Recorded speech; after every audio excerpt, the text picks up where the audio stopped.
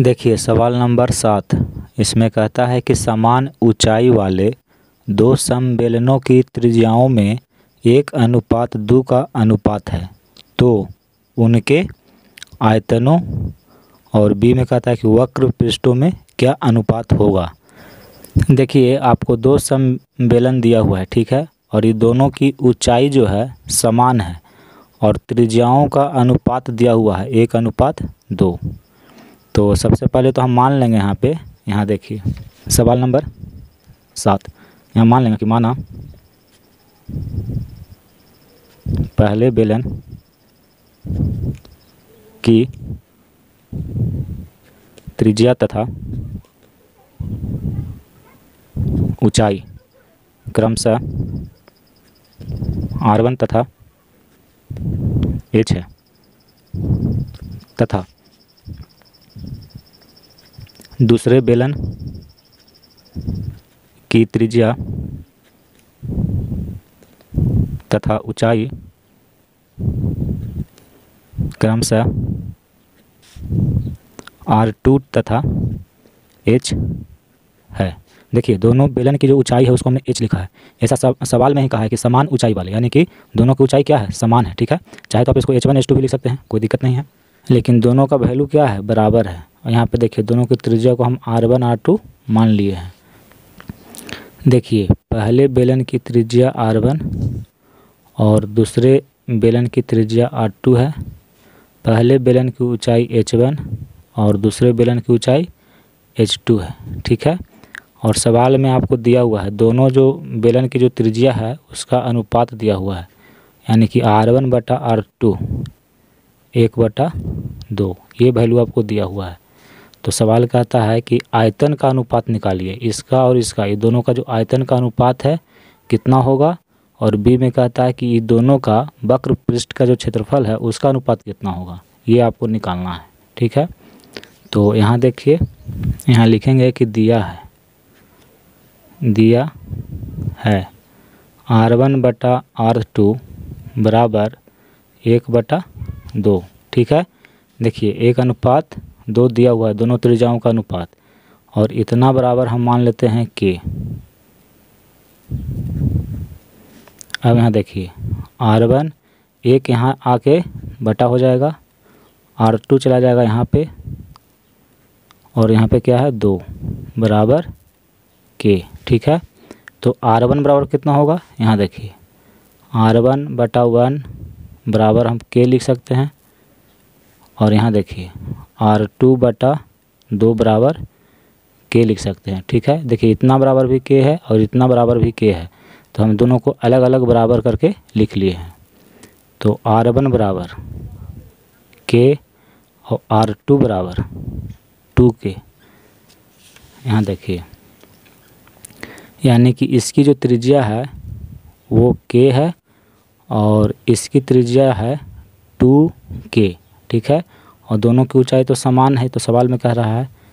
अब यहाँ देखिए। सवाल नंबर ए। कहता है कि आयतन का अनुपात निकालिए। तो हम सबसे पहले क्या करेंगे कि पहले जो बेलन है, पहले बेलन का अनुपात निकालेंगे।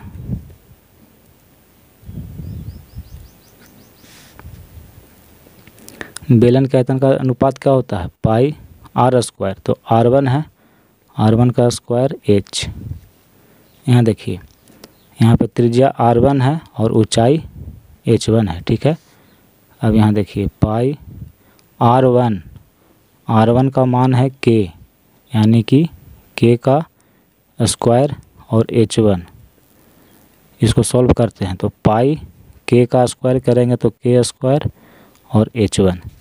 यानी कि इस बेलन का आयतन निकाले तो इतना आया। अब इस बेलन का निकालते हैं। यहाँ देखिए।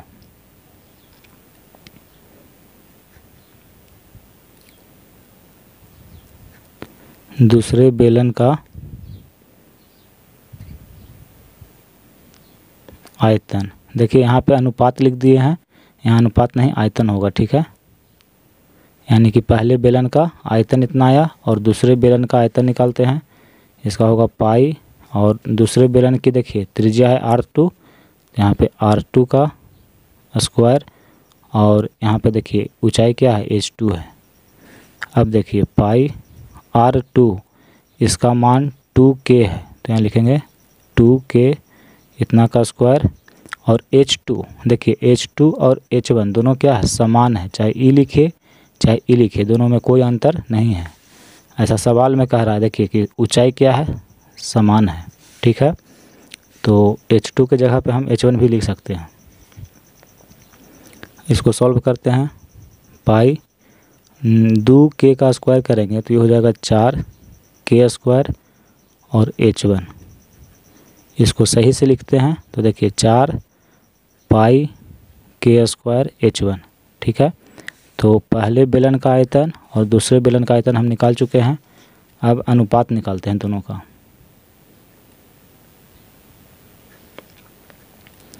पहले बेलन का आयतन है पाई के स्क्वायर एच वन।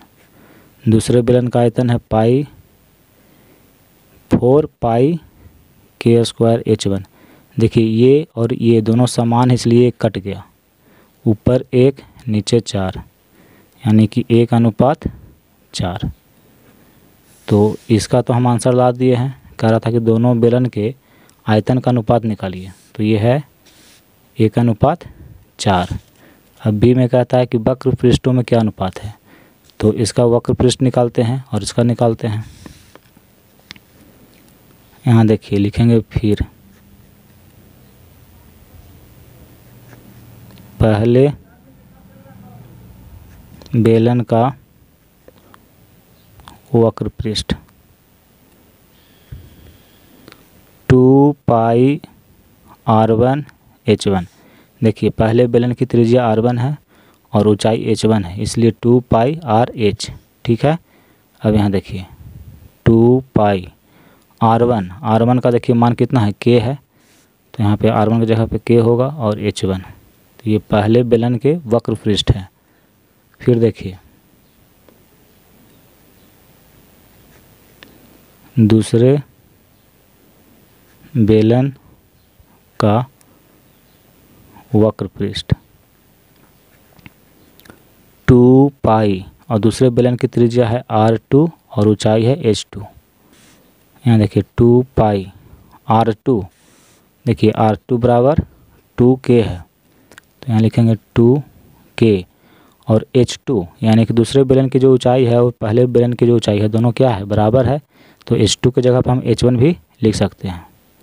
देखिए, दो में दो से गुना कर देंगे, ये हो जाएगा चार पाई के एच वन ठीक है, इसको गुना करेंगे तो इतना होगा। तो पहले बेलन का वक्र पृष्ठ और दूसरे बेलन का वक्र पृष्ठ दोनों निकाल चुके हैं। अब अनुपात निकालते हैं। अनुपात। तो पहले बेलन का वक्र पृष्ठ टू पाई के एच वन है और दूसरे बेलन का है फोर पाई के एच वन। देखिए, ये और ये दोनों बराबर है तो कैंसिल हो गया। ऊपर दो, नीचे चार। देखिए, दो दूनी का चार। ऊपर एक, नीचे दो। यानी कि एक अनुपात दो। ये आपका आंसर हो गया।